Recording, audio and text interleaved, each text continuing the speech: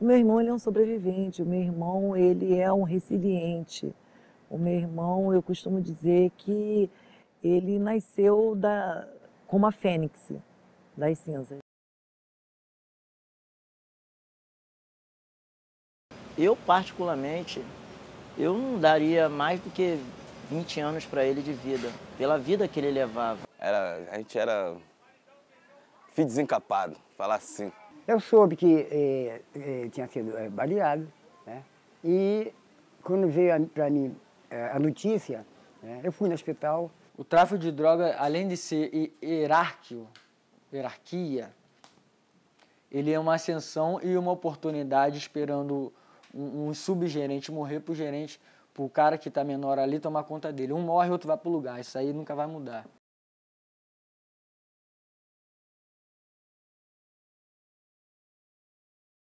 Esta era a casa que eu trabalhei, casa de massagem, como caseiro e depois passei a ser garoto de programa. Lá na frente eu coloquei prestador de serviço sexual.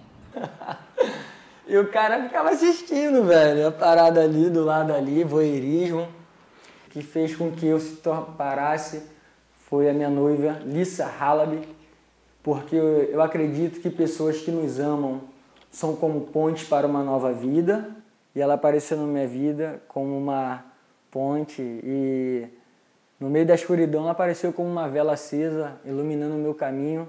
Eu fui recebido pela alfândega, os policiais federais que falam português me colocaram numa sala, me interrogaram mais de uma hora e quarenta.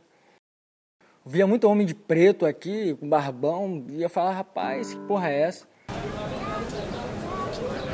Realmente, a gente chegou 9 horas da noite, ele entrou de repente no apartamento, todo mundo olhou ele, cara de doido assim, meio maluco. Ele pegava o, o laptop dele, o notebook, começava a escrever para mim em Google Translate. Escrevendo em português e eu escrevendo em inglês, sabia uma, não sabia nada, nenhuma palavra em português. Só um pouco de espanhol que eu tinha e assim que a gente aproximou. A gente...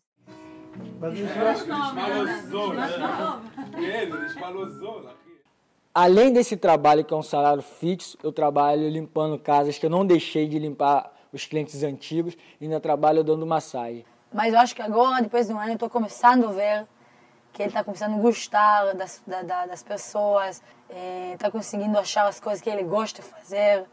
Hoje eu sou produtor do Fernando Seixas, vendo o show dele no Brasil e agora aqui em Israel, com a benção de Deus e da ajuda da minha noiva e do universo conspirando a favor, estou conseguindo mais uma vez iniciar um, um projeto que com certeza tem de tudo a dar certo.